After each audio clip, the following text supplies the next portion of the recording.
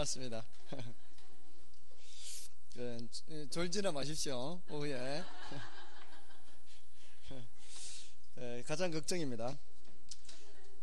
음, 자, 이제 30번부터죠. 예.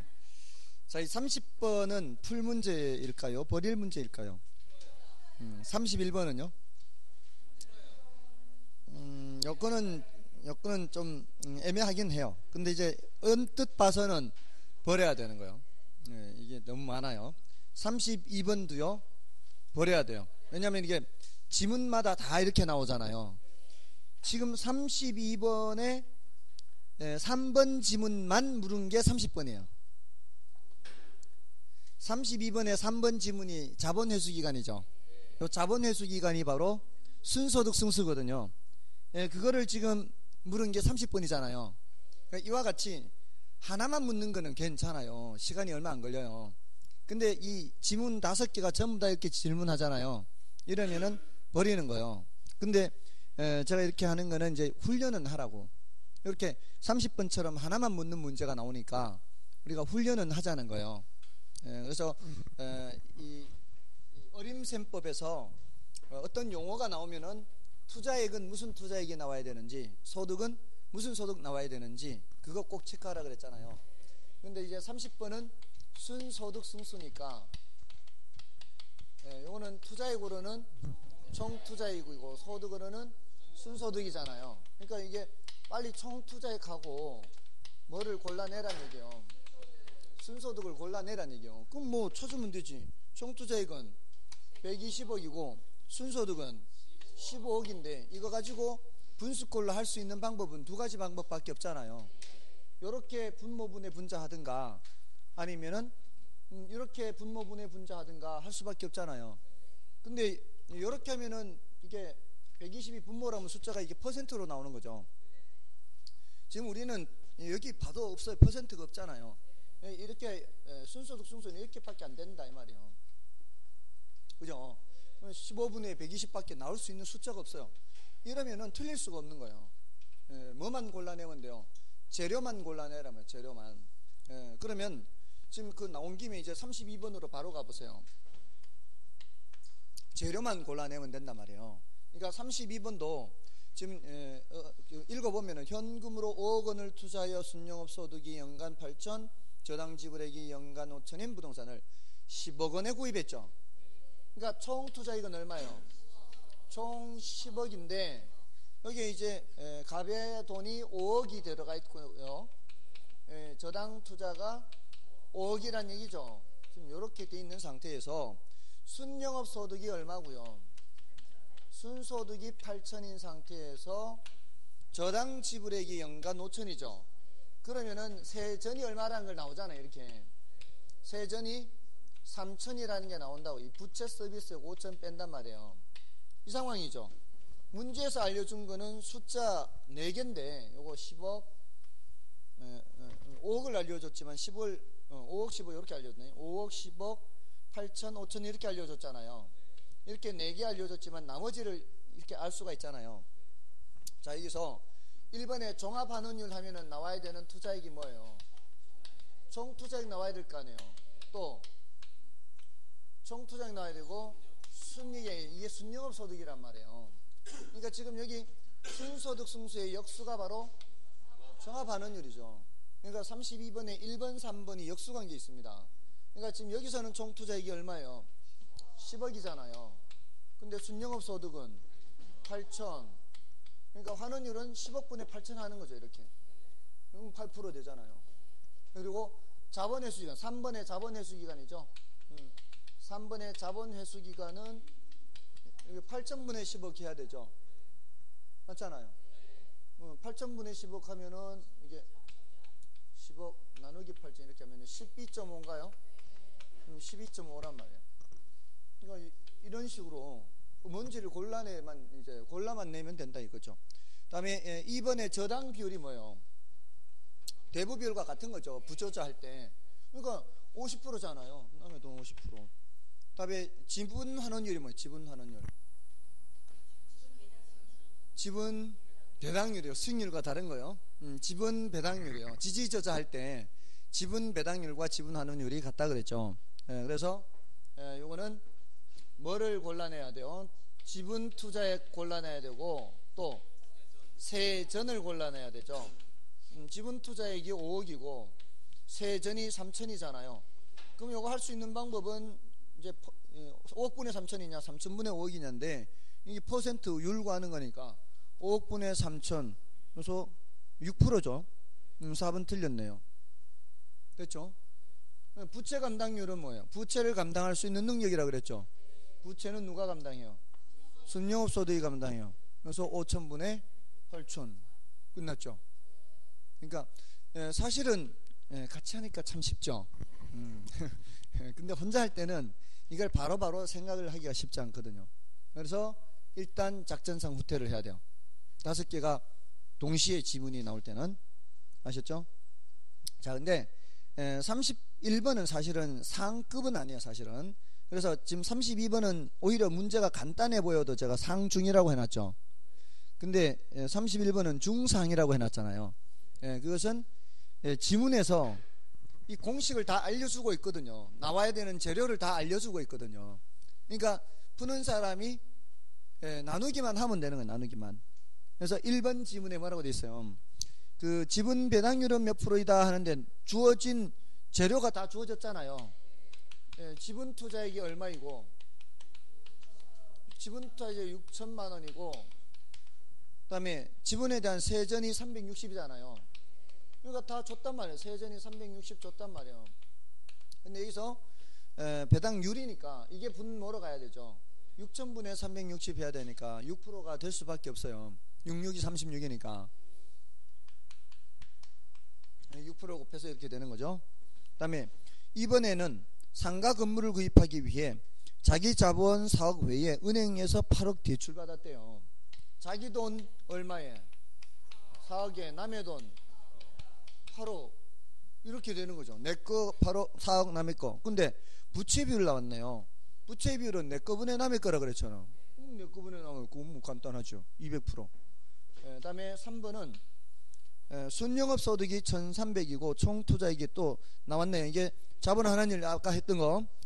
자본하는 일 자주 나옵니다. 정말. 자본하는 일 지분 배당률은 꼭 기억해야 돼요. 총 투자액이 얼마라고요? 2억에 예, 순영소득 1,300이잖아요. 이럴 때는 1억하고 뭐하고 비교해도 되는 거예요. 650하고 비교해도 되죠. 1억과 650. 6.5% 나오잖아요. 그럼 됐고요. 그죠? 네, 다음에 4번. 어, 아파트 구입에 필요한 총액이 4, 4억인데 은행에서 1억을 대출받았대요. 그럼 내 거는 3억이란 얘기죠. 총 4억인데 1억 대출받았으면은 내 거는 3억이다 이 말이에요. 자 그러면 내 거 비율을 말하는 거 아닌가요? 자기 자본 비율이? 음, 내 거 비율이 4억 분의 총 4억 분의 3억이니까 75%죠. 음, 그래서 틀렸죠 이거? 틀렸죠? 네, 틀렸습니다. 다음에 5번에 부채 감당률은 부채 감당할 수 있는 능력이고 이 부채 감당률도요. 이게 계산으로도 이렇게 자주 나오지만 어, 이론으로도 자주 나옵니다. 예, 순영업 소득이 1억 8천이래요. 그러니까 부채 감당률은 음, 부채 감당률은 부채 서비스를 누가 감당하는 거예요? 순영업 소득이 부채 서비스를 감당하는 건데 예, 순영업 소득이 얼마라고 줬어요? 1800인데 2800 나누기 무엇해서 1.5가 된다는 얘기 아닌가요? 그 소리는요 1.5하고 네모하고 자리 바꿔도 되잖아요 그러면 1.5분의 1800 하면은 이게 1200인가요? 네, 부채 서비스액은 1200이 되네요 맞죠? 네. 에, 사실 또 풀고 보니까 그렇게 에, 어렵진 않은데 그러니까 그래도 할 수 없어요 어쨌든 실전에 이렇게 나오면 패스해야 돼 일단 그는 풀기 전에는 모른단 말이에요. 아시겠죠? 그러니까 풀, 풀기 전에 모르기 때문에 에, 간단 간단하게 30번이나 28번 이렇게 이제 어떤 형태인지 눈에 어느 정도 보이죠. 이런 거를 익혀놔야 돼요. 에, 그, 이거는 이제 에, 계산 문제 자신이 쓰신 분들도 반드시 이걸 지켜야 됩니다. 에, 어디서 함정이 생길지 몰라요. 솔직히 에, 이게 중간에 하나라도 함정이 생겨버리면 그러면은 시간을 많이 오버할 수 있어요. 그리고 기, 문, 어, 지문마다 계산을 하는 거는 시간 자체가 많이 걸린단 말이에요. 아셨죠? 예, 그러니까 예, 제가 제일 걱정스러운 부분이 특히 계산을 잘하는 사람들이 오히려 계산을 잘하는 사람들은 다 풀려고 한단 말이에요. 그럼 절대 안 된다는 거죠. 내가 굉장히 익숙한 것들 위주로 우선적으로 풀어야 돼요. 33번은 이제 할 만한 거예요. 이게 단순 회수 기간이죠. 그 단순 회수 기간에 단순하고요. 자본 회수 기간에 자본 회수 기간의 차이점이 뭔, 뭔가요? 지금 방금 자본 회수 기간 어디 있었어요? 30번에도 자본 회수 기간 했고요. 여기. 여기도 3번 지문인가 자본 회수 기간 했죠. 여기는 자본 회수 기간이고요. 음, 순소득 순수를 자본 회수 기간 이렇게. 그다음에 단순 회수 기간에 지금 33번이 일단 공통점은 뭘까요? 이해하고 제 음, 회수 기간이 공통점이죠. 음.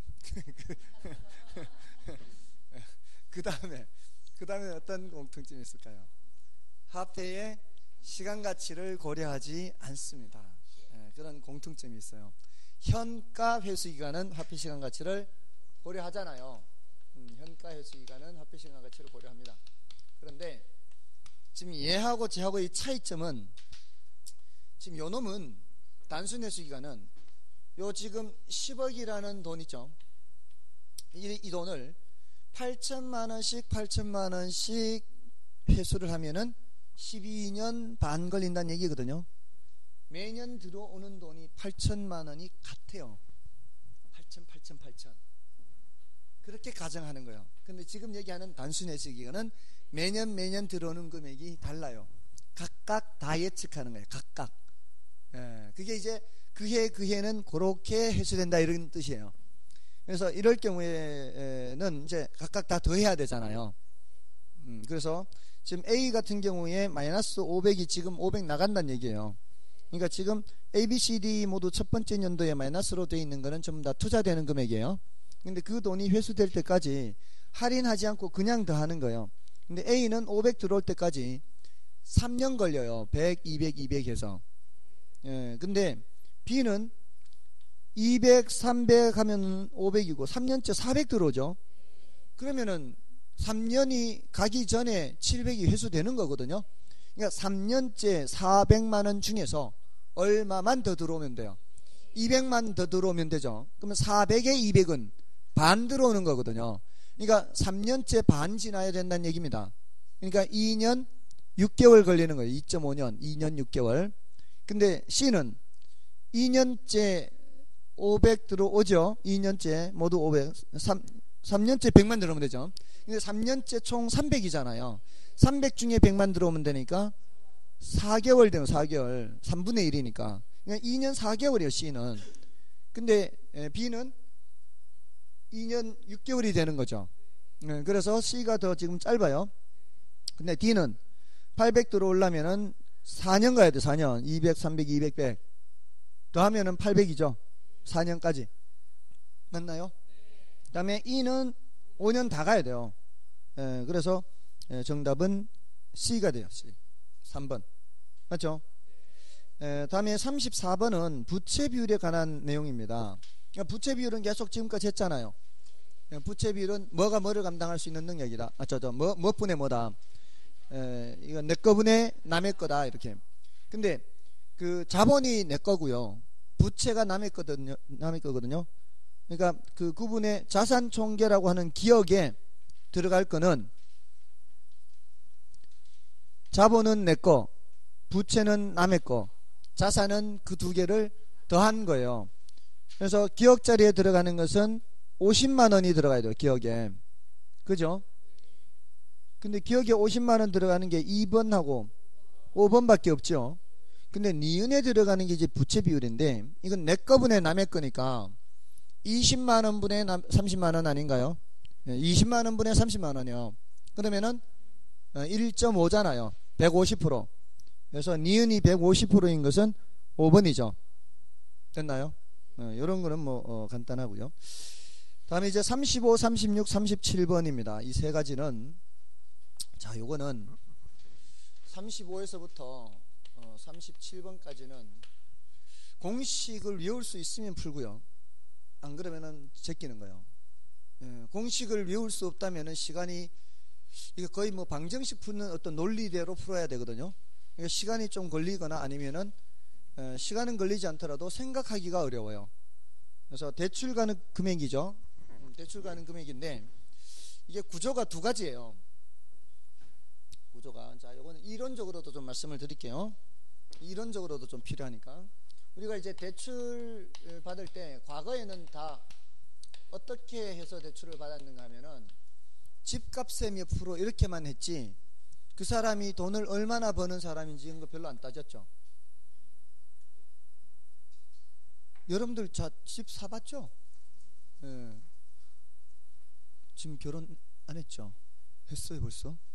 뭐 그, 아, 애가 둘이에요. 어 그렇구나. 왜 근데 아가씨처럼 해 갖고 다녀요? 아, 나 아, 계속 직장 생활 하고 하니까 그럼 계속 아가씨인 줄 알았어요. 근데 집을 집을 아직 사진 않았어요? 샀어요? 그럼 집을 살 때 대출 받을 때 보통 집값이 얼마 이렇게 대출 받잖아요. 그거 말고 대출 받는 사람의 소득도 따지던가요? 따졌어요? 옛날에는 안 따졌거든요. 예전에는 안 따졌죠. 아가씨가 아니란 뜻, 응, 응, 아가씨가 아니란 뜻이에요. 옛날에 안 따졌잖아요. 옛날에는 그냥 집값에 얼마 이렇게 했잖아요. 그거는 이제 옛날에는 LTV만 봤어요. 근데 요즘은 소득도 따지는 거예요. 소득. 그, 그 DTI 해가지고 이게 뭔 소린가 하면은 이거는 부동산 가격 기준이거든요. 부동산 가격 기준. 근데 이제 에, 원리금을 상환을 해야 될 거 아니에요. 원리금을 상환을 하려면은 그 사람의 어떤 현금이 주는 계속 뭐 들어오는 현금이 있어야 상환을 할 거 아니에요. 그걸 보는 게 바로 이 DTI예요. 대출 받는 사람의 소득이 바로 현금 흐름이라는 거예요. 현금 흐름. 이 현금 흐름이 어느 정도 있어야 된다는 거예요. 근데 이 주택의 경우에는 이거 세나 가지고 이게 임대료 수입이 발생하는 게 아니잖아요. 그러니까 누구의 현금 흐름이에요? 차입자의 현금 흐름, 차입자. 차입자의 현금 흐름이 바로 뭐겠어요? 소득이지, 소득. 그잖아요. 근데 이게 이제 부동산 가격 기준이잖아요. 근데 상업용 부동산 보세요. 상업용 부동산. 상업용 부동산 이거 세 놓잖아. 세 놓으면은 새가 들어오잖아요. 그 새 들어오는 게 바로 뭐예요? 음, 그게 현금 흐름이에요. 그러니까 상업용 부동산은 이 말이에요. 상업용 부동산이고 이쪽은 이쪽은 이제 주택이 주택. 주택은 예, 대출 받는 사람의 예, 소득을 버는 거고 상업용 부동산은 그 거기에서 들어온 게 바로 순영업 소득, 순영업 소득. 그러니까 순영업 소득이 뭐를 감당해야 돼요? 그 부채 서비스액을 감당해야 되잖아요. 그래서 부채 감당률 기준, 부채 감당률. 부채 감당률을 보는 거예요. 이게 뭘 보는 거예요, 사실은? 순영업 소득이 순영업 소득. 이게 바로 현금 흐름 기준이에요. 이쪽은. 상업용 부동산은 이 순영업 소득이 현금 흐름이에요. 자, 그래서 이게 문제가 두 가지 형태로 대출 가능 금액 계산이 출제가 돼요. 그러니까 문제에서 LTV와 DTI가 짝짓기 해서 출제가 되고요. LTV하고 DSCR, 부채 감당률인데 이걸 영어로 DSCR 그래요. 예, 이게 이제 두 가지 형태예요. 근데 이게 좀 더 쉬워요, 이 책이. 그리고 우리한테 여기에 조금 더 많이 출제됐어요. 왜냐하면 주, 택을 좀 더 많이 다루니까 요거보다는 예, 근데 이제 꽤 많이 출제된 편이에요. 근데 에, 이쪽으로는 이제 자료가 이 두 개만 있으면 돼요. 부동산 가격에 몇 프로 대출해 주는 거니까. 그죠? 자료가 두 개만 있으면 돼요. 그래서 어, 이쪽으로 나오는 자료와 이쪽으로는 DTI가 연소득의 몇 프로까지 부채 서비스액을 사용할 수 있다는 얘기죠. 그잖아요. 그러니까 이쪽은 그 사람의 연소득이 이쪽으로 와야 되고요. DTI가 그 연소득의 몇 프로 하는 거고요. 이쪽에 저당 상수가 늘 따라다닙니다. 저당 상수가 늘 따라다녀. 이게 원리금 균등 상환을 전제하기 때문에. 여기서도 마찬가지. DTI, LTV하고 부동산 가격은 이쪽으로 오면 돼요. 근데 이쪽은 순영업 소득이 나와야 되겠죠. 순영업 소득 나와야 될 거 아니에요. 그 다음에 DSCR 나와야 될 거 아니에요. 그 다음에 여기도 저당 상수가 나와요. 예, 이 사람이 이게 이제 현금 흐름이거든. 이게 현금 흐름이고, 그죠? 음, 현금 흐름, 현금 흐름이. 예, 다음에 저기는 DTI고 여기는 DSCR. 저당 상수, 저당 상수. 예, 차이점이 뭐예요? 이거 예, DSCR과 순영업 소득 여기는 예, DTI와 연소득 이렇게 되는 거예요. 그러니까 이 구조를 파악하고 준비를 해놔야지 전혀 어, 그런 생각 없이 그냥 예, 풀다 보니까 뭐 이렇게 나오고 풀다 보니까 저렇게 나오고 이러면 안 되는 거죠. 문제를 딱 봤을 때 이게 자료가 예, DTI가 나오는 자료냐, 음, 부채 감당률이 나오는 자료냐에 따라서 달라지는 거니까. 됐나요? 자 그러면 자 이쪽에 예, 이거는 쉬워요. 자 35번 보, 보겠습니다. 35번에 8천만 원의 기존 주택담보대출이 있는 갑은 A은행에서 추가로 주택담보대출을 받고자 한다. A은행의 대출 승인 기준이 다음과 같을 때 갑이 추가로 대출 가능한 최대 금액은 했습니다. 에, 단 문제에서 제시한 것 외에 기타 조건은 고려하지 않습니다. 음, 갑 소유 주택의 담보 평가 가격이요. 4억이죠. 4억은 어느 쪽으로 가야 돼요? 왼쪽 오른쪽 LTV 쪽으로 가야 돼요. 가격 부동산 가격은 이쪽으로 가야 돼요.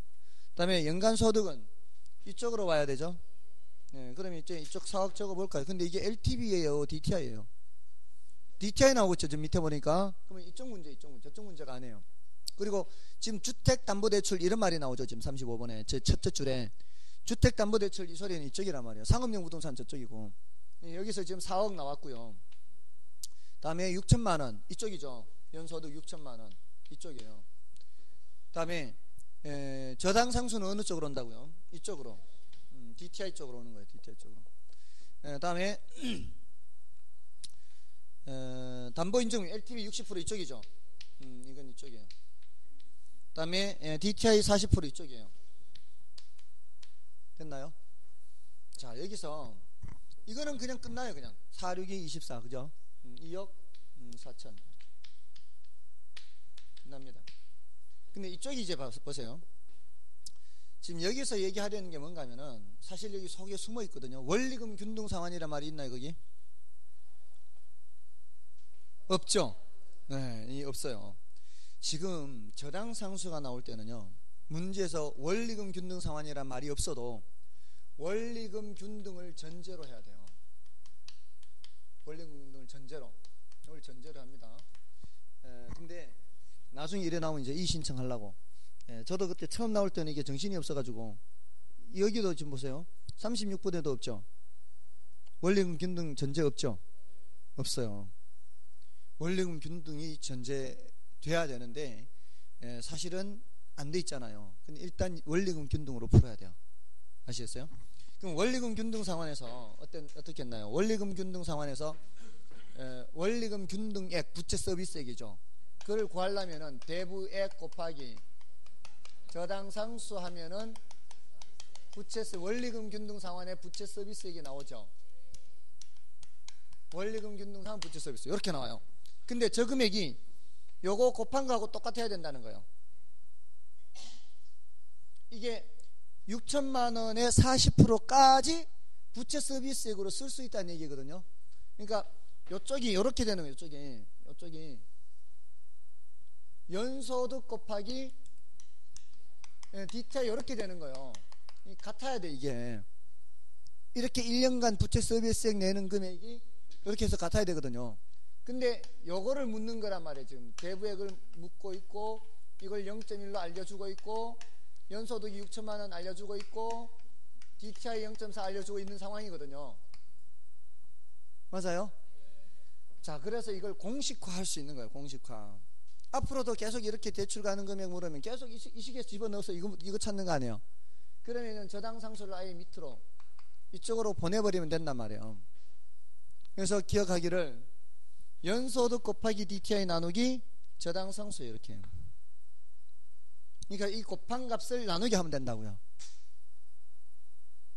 그럼 대출 가는 금액이 나오죠. 그렇죠. 2억 4천 2,400 나누기 0.1이니까 이 공식을 쉽게 생각할 수 있다면 이걸 하세요. 대출 가능 금액은 DTI와 LTV를 저, 저 DTI와 연소득 곱한 것을 저당 상수 나누기요. 안 그러면은 이걸 생각을 해야 되거든. 이걸 생각하는 게 쉽지 않다는 거예요. 제 말씀은. 예? 이걸 생각하기가 쉽지 않다. 이 식 세우는 것이 이 식 세우는 것이 쉽지 않기 때문에 예, 이걸 공식으로 기억을 하시라고요. 대출 가능 금액은 대출 가능 금액은 DTI 이용요. DTI 이용 대출 가능 금액은 예, 연소득 곱하기 DTI 나누기 예, 저당 상수요. 이렇게 아시겠죠?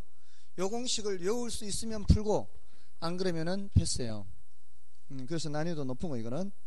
그래서 맨 밑에 간편식을 써 놓기 그 힌트 안에 써놨죠 써놓기는 맨 밑에. 예, 그래서 이렇게 하면은 양쪽 다 2억 4천이 나오죠 공교롭게. 예, 양쪽 다 2억 4천이 나오기 때문에 이미 기존 8천이 있는 상황에서는 1억 6천만 예, 예, 더 대출 받을 수가 있는 겁니다.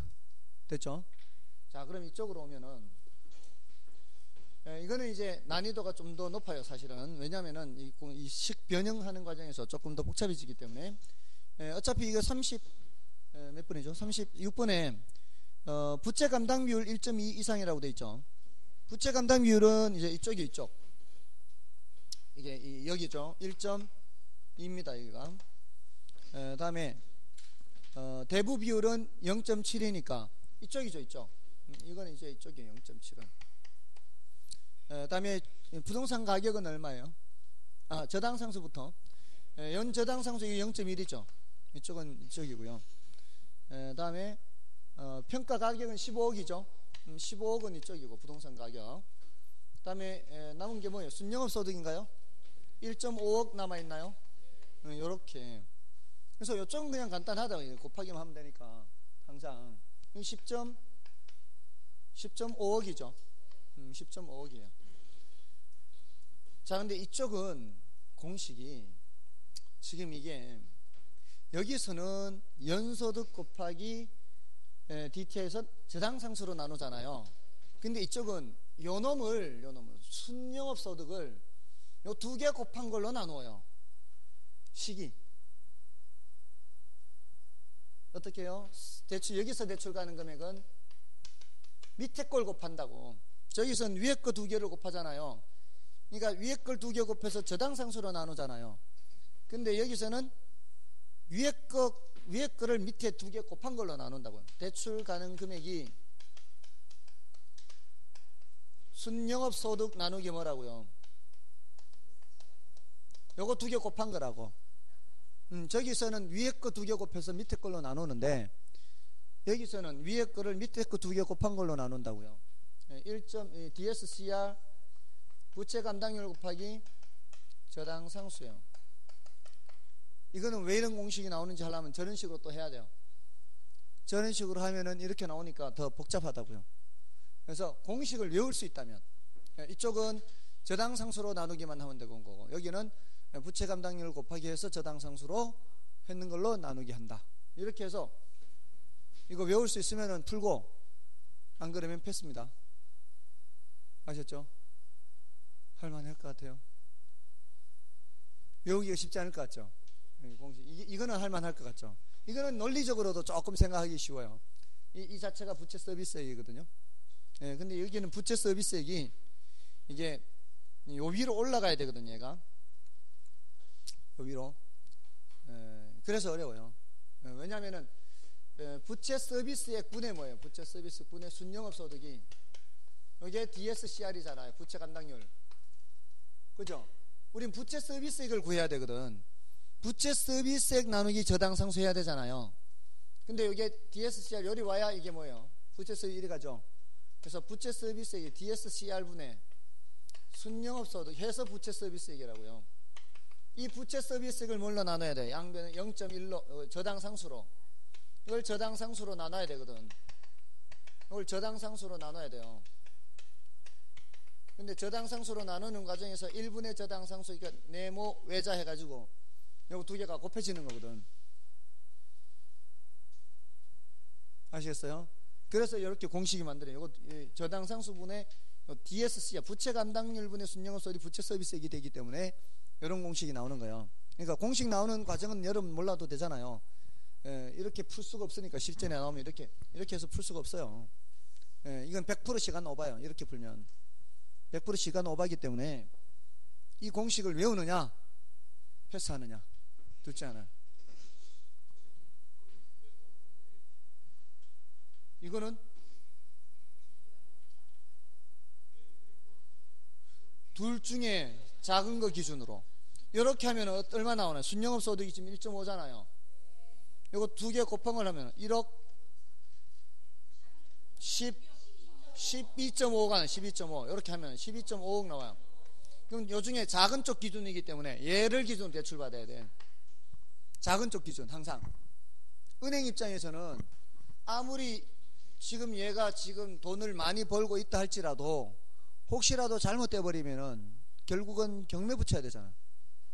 경매 붙여 버리면은 경매 그 시세의 몇 프로 이렇게 할 수밖에 없다고. 혹시라도 문제가 생겼을 때. 그리고 어, 이, 얘도 안 볼 수가 없는 게 아무리 이렇게 했다 할지라도 얘가 들어오는 돈이 별로 없어. 돈이 들어온, 들어오는 돈이 별로 없으면 대출 많이 못 해줄 거 아니에요. 양쪽을 봐서 안전한 쪽으로 해야 되기 때문에 작은 쪽을 기준으로 대출을 해줘야 됩니다. 됐나요?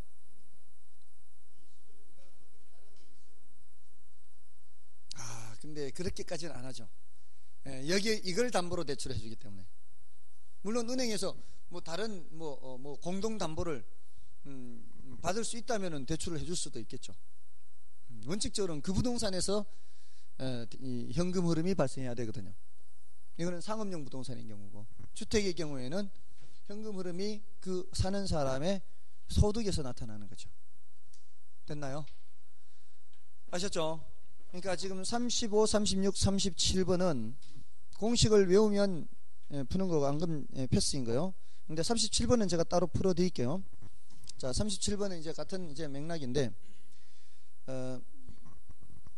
주택금융과 관련된 다음 상황에서 옳은 것은 1번 어, 저, 어, 단 다른 조건과 어, 어, 가정은 배제하고요. 기억 A는 총부채 상환 비율이 적용되지 않는 지역에 DTI는 적용되지 않는데요. 근데 주택 매입을 위해 담보 인정 비율 60%를 적용해 LTV 60%입니다. 주택담보대출 3억 원을 받으려고 할 때 A가 매입하고자 하는 주택의 담보 평가 가격은 얼마 이상이어야 하나 하고 있죠. 자, 대출을 3억 받으려고 하죠. 대출을 3억 받, 으려고 하는데 60%가 대, 에, 에, 3억인 거죠. 대부 비율 60%를 적용해서 3억을 대출 받으려면은 부동산 가격이 얼마가 돼야 되느냐 하는 거잖아요. 그러니까 부동산 가격 분의 대부액 또는 부동산 부채 잔금 이게 뭐라고요? 0.6이라고요. 대부 비율이 0.6. 남의 거 비율이 0.6인데 대출을 얼마까지 받는다고요? 3억까지 받으려면 이 가격이 얼마 돼야 되느냐 이 말이잖아요. 이거 자리 바꾸면 되는 거죠. 그럼 0.6분의 3억은 5억 되나 이게? 음, 0.6분의 3억. 3억 나누기 0.6 하면은 5억 예, 나오죠. 음, 5억. 이렇게. 자, 그렇게 하고요. 에, 그래서 어, 기억에 5억이니까 4번, 5번 중에 있을 거고요. 그다음에 담보 인정 비율은 적용되지 않으나 총 부채 상환 비율이 40%인 지역에서 40%인 지역에서 연소득 6천만 원인 B가 매월 원리금 균등분할 상환액 200만 원인 주택담보대출을 받으려고 한대요. 매월 200이죠. 근데 지금 여기서 우리가 계산하는 부채 서비스액은 연간입니다. 연소득이니까 연소득에 적용되니까 연소득이 얼마라고요? 6천인가요? 여기에 DTI가 몇이에요? DTI 40%면은 그럼 부채 서비스액은 2,400만 원이죠. 2,400만 원. 월 200인가요? 아, 월 200이면은 나누기 12 하면은 200 되죠? 되죠? 네, 월 어, 200만 원 됩니다. 그럼 대출 가능하죠? 네, 대출 가능합니다. 4번이 정답이네요. 그죠? 음, 자, 이렇게 하면 되겠습니다. 어, 다음에 자 이제 원래는 음, 그러니까 지금 사실 34, 24번 주제인가 이게 14번 주제인가 이게 진하게 나와가지고 앞부분이 앞, 앞글씨가 진하게 나와서 이렇게 지워져 버렸어요. 이게 10, 14번 주제인가요 이게? 음, 14번 주제. 근데 15번 주제인 원리금 균등, 원금 균등 이거는 이제 원래 중요하죠. 지금 DTI는 작년에도 나왔어요. 작년에는 워낙 그 어, 매스컴에서도 DTI를 많이 떠들었거든요. 에, 작년 8월 달에 그왜 부동산 경기를 좀 활성화시키려고 DTI를 막 이, 이 50%인가 몇, 몇 프로까지 해줬죠? 50%인가 막 해주고 40%였는데 LTV도 60%에서 70% 해주고 막 그렇게 대출을 더 많이 예, 확장을 해줬거든요. 예, 그러니까 아 이거 뭐 출제할 만 어, 원래 출제될 만하다 해서 했는데 역시나 출제가 됐어요 작년에. 예, 근데 이 원래는 조금은 30, 그 15번 주제는 출제 가능성이 낮지만 이제 38번하고 39번은 이제 굉장히 중요하죠 이제 음, 왜냐하면 이게 지금 10년째 안 되고 있어요 출제가. 제가 벌써 3년 전부터 지금 출제 가능성이 높다 그랬거든요. 점점 출제 가능성이 높아지는 거 지금 계속 출제 안 되고 있다는 게 지금 10년 이후에 계속 안 되고 있다는 거는. 그러니까 드디어 이제 원래 맞아 출제가 안 되면 제가 진짜 손에 장, 장을 찢어야 돼요. 몇 년간 출제 가능성이 없다 했는데 출제 안 되면 손에 장 찢어야지 어떻게 해. 그죠? 예, 요거 38번, 39번 다 준비가 돼 있어야 돼요. 예, 좀 38번은 원금 균 등 분할 상환이죠. 자, 요거는 이제 매뉴얼입니다. 매뉴얼을 기억하는 거요. 이쪽은요. 원리금 균 등 분할이에요.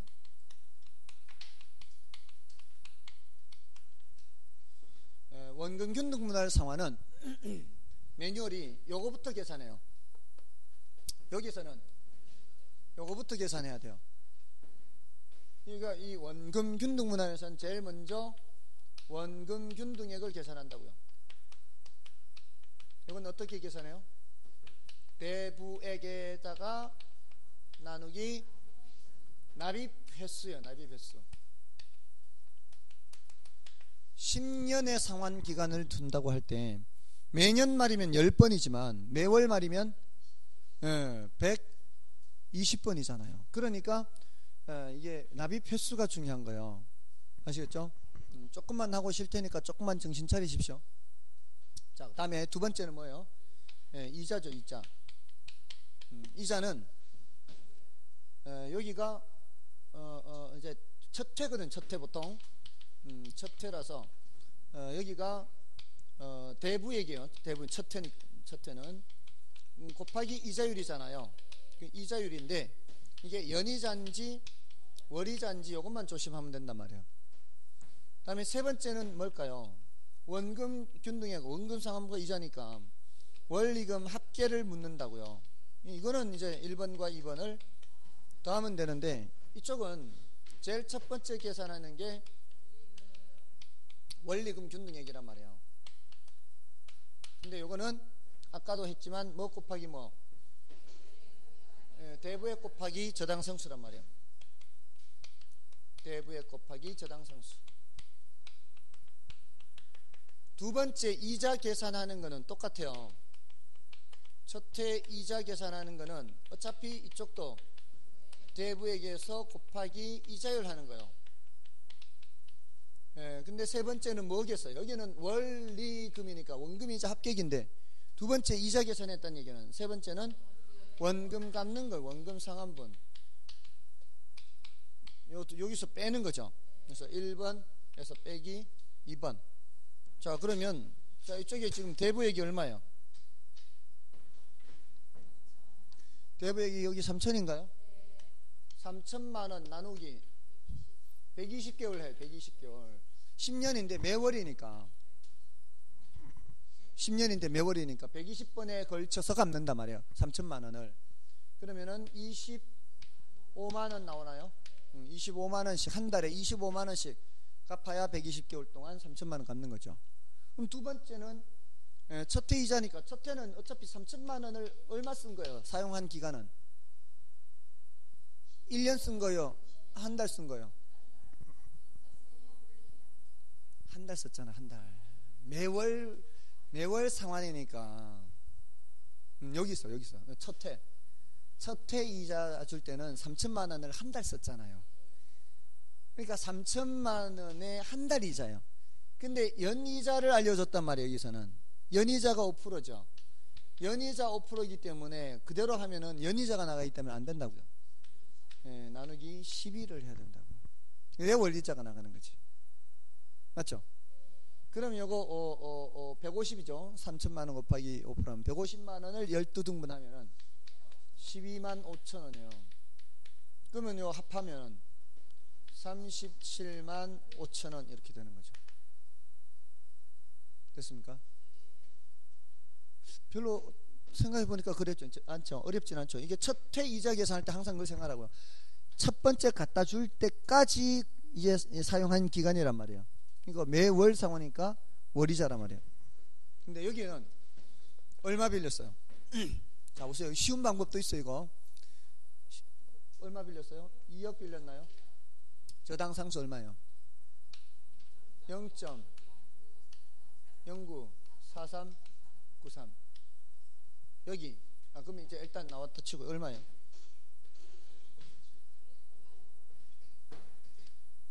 18 두 배니까 8 7 8 6이죠 이게 39는 두 배 하면 은 78이니까 7 8 6 이렇게 1 8 8 7 8 6인데 이게 0점이죠 0점 예, 단위가 억이에요 단위가 그러니까 0.188786 억이에요 억 맞잖아요.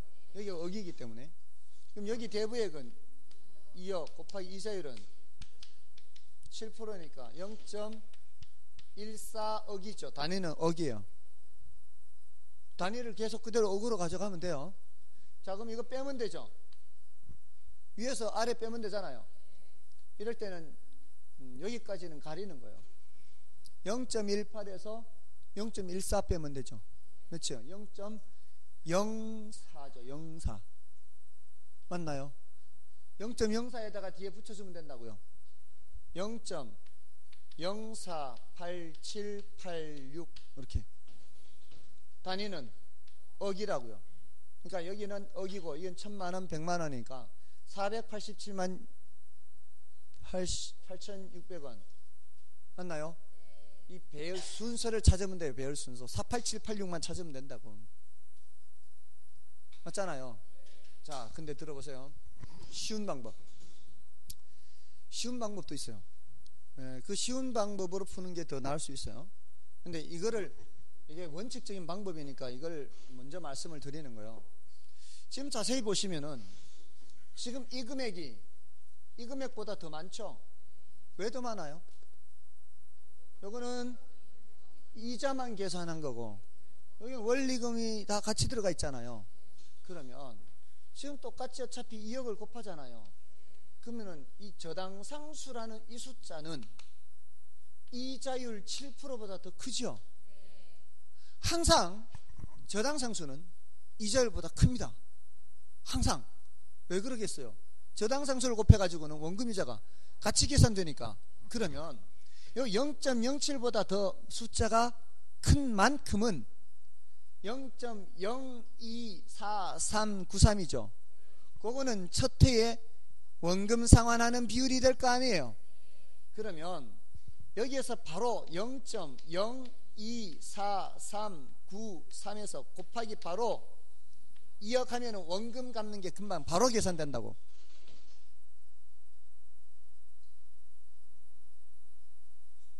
맞잖아요. 굳이 그렇게 할 필요 없이 어차피 요, 요 차액만큼이 원금 상환에 해당하는 비율이 된다 이 말이에요. 원금 상환에 해당하는 비율. 맞아요. 그러니까 예를 들어 자 그럼 이렇게 문제를 내면은 내가 4천만 원 대출 받아 4천만 원 4천만 원 대출 받았는데 예? 제, 괜찮지. 응. 그러니까 음, 배워야 된다니까. 자 저당 상수가 0.07254요. 0.0724. 연 이자율이 5%예요. 그러면 첫해 원금 상환분은 하면은 여기에서 0.02254 곱하기 4천만 원 하면 끝이라고.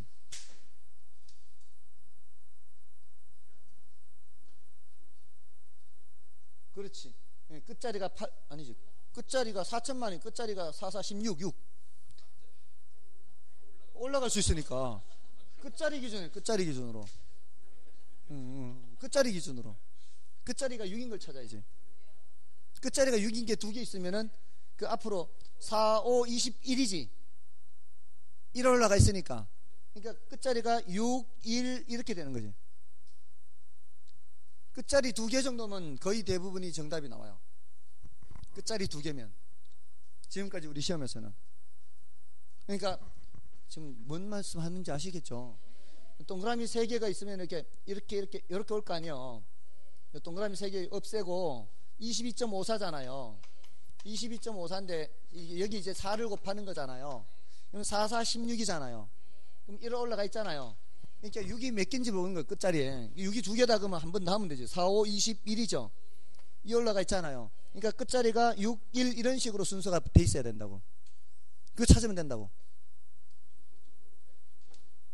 어? 어, 뒷자리만 한다면. 그렇지. 음. 뒷자리만 한다면. 여기까지는 일단. 음. 됐습니까? 음, 그렇게. 할만하죠? 그러니까 원래 반드시 원리금 균등이 나와야 되는 거예요. 예, 원리금 균등은 이런 식으로밖에 출제가 될 수밖에 없어요. 아시겠죠? 좀 쉴까요? 예. 좀 쉴게요.